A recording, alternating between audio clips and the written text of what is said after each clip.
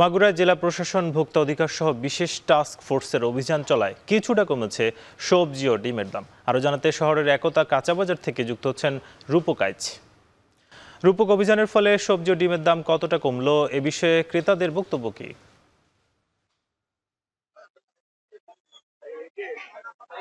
সাকিব, আপনি যেমনটি বলছিলেন মাগুরায় বেশ কয়েকদিন ধরে জেলা প্রশাসন ভোক্তা অধিকার অধিদপ্তর সহ বেশ কয়েকটি সরকারি প্রতিষ্ঠানের পক্ষ থেকে একটি টাস্ক ফোর্স করে মাগুরার বিভিন্ন ছোট বড় বাজারগুলিতে অভিযান পরিচালিত হয়েছে এবং এই অভিযানের ফলে আমরা যেটি দেখতে পেয়েছি, বাজারে এর কিছুটা প্রভাব পড়েছে।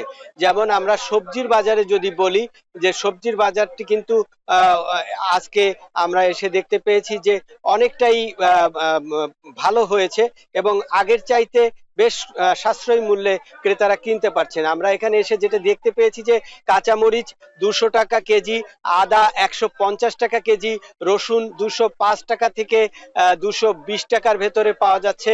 পেঁয়াজ পঁচানব্বই থেকে একশো দশ টাকা কেজিতে পাওয়া যাচ্ছে। কুমড়ো পঞ্চাশ টাকা, পেঁপে আঠারো টাকা, লাউ পঞ্চাশ টাকা প্রতি পিস, ফুলকপি ষাট টাকা কেজি, মূলা তিরিশ টাকা কেজি, আলু বাহান্ন টাকা কেজি মুখী কচু চল্লিশ টাকা কেজি। এভাবে দামটি কিন্তু অনেকটাই কমে এসেছে।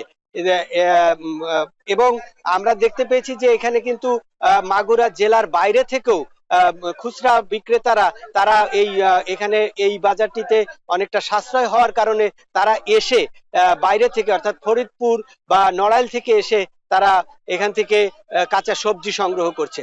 আর সেই সঙ্গে বলে রাখি যে, মাগুরায় কিন্তু ডিমের দাম বেশ কয়েকদিনের তুলনায়, গত সপ্তাহের তুলনায় অনেকটাই কমে গেছে। যেমন আজকে আমরা পাইকারি বাজারে খোঁজ নিয়ে যে জানতে পেরেছি যে, পাইকারিতে প্রতি প্রতি শ ডিম এগারোশো নব্বই থেকে পঁচানব্বই টাকায় বিক্রি হচ্ছে, যেটি খুচরা বাজারে প্রভাব ফেলছে।